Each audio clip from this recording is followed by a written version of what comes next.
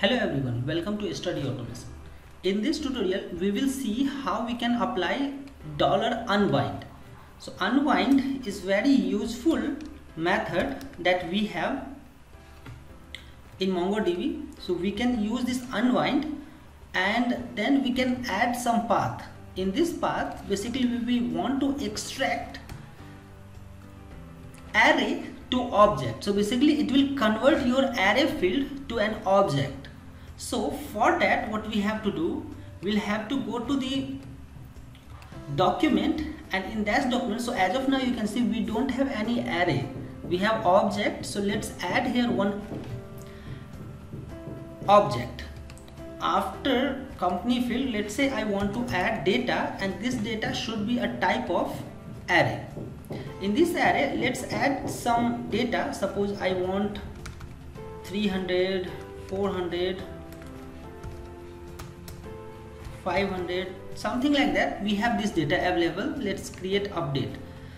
So, in document 1 document id 1 we have added one array. Now let's go to the aggregation. So in this aggregation if you will see we have added here project. In this project we only want name email id address website and phone number. Let's add here data as well so once we add data then it will appear also in this array form. After that what we have to do in output we can see array. Now what we want just before just after sorting and before group I want to add unwind. So I'll delete it from here and let's add after sort.